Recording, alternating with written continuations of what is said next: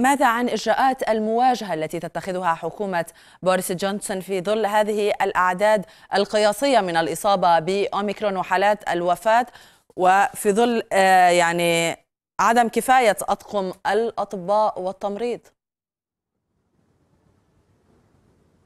نعم يبدو أن متحور أوميكرون بانتشاره السريع هنا في المملكة المتحدة قد كشف ثغرات في مجال القطاع الصحي أو على الأقل قد قطع التقشف الذي كانت تقوم به حكومة بوريس جونسون في مجال القطاع الصحي. نقص كبير كشفت عنه اللجنة البرلمانية في أطر الأطر الطبية بالمستشفيات البريطانية. نتحدث عن الأطباء.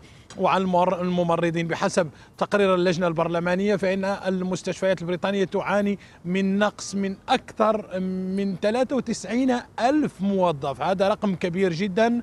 الحكومة البريطانية قالت أنها ستحل المشكلة على مدة ولايتها وهذا آه، رآه رأته المعارضة أنه وقت طويل جدا وأن الأزمة لابد أن تحل بشكل عاجل. الحكومة البريطانية كذلك أكدت أنها خصصت مبلغ 5.9 مليار جنيه استرليني لدعم القطاع الصحي. أوميكرون آه، فاجأ الحكومة البريطانية عبر إصابة الموظفين في المجال الصحي وبالتالي باتت آه، معضلة المستشفيات البريطانية تنقسم إلى قسمين قسم النقص في الموظفين الذي هو أصلا ثابت والنقص نتيجة الموظفين الذين أصيبوا بأوميكرون ويحتاجون من سبعة إلى عشرة أيام كعزل ذاتي وبالتالي أصبحت المعاناة أكثر. عدد المرضى الذين ينتظرون العمليات الجراحية في المملكة المتحدة هو خمسة ملايين وثمانمائة ألف شخص. شخص وبالتالي المتوسط الانتظار تقريبا 18 اسبوعا. في ظل الأزمة الحالية الكثير من المستشفيات المستشفيات مددت فترة آه، الانتظار بالنسبة للمرضى وهو ما دق ناقوس الخطر هنا من طرف آه، المعارضة في آه، البرلمان البريطاني. محمد هل يحمل الوضع الوبائي هذه المرة لتبدية الاقتصاد على الوضع الصحي؟ المعارضة البارحة خاصة على مستوى نائبة رئيس حزب العمال الذي هو الآن في فترة عزل ذاتي بسبب إصابته بأوميكرون.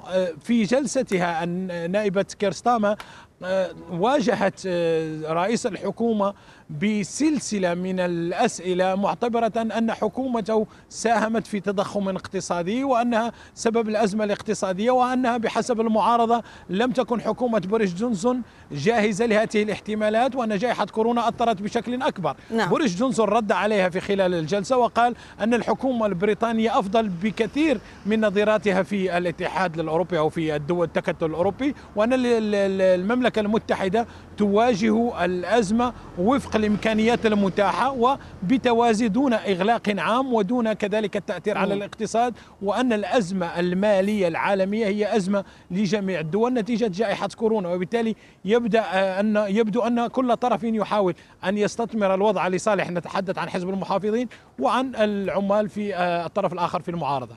أشكرك من لندن مراسل الغد محمد الفينيش.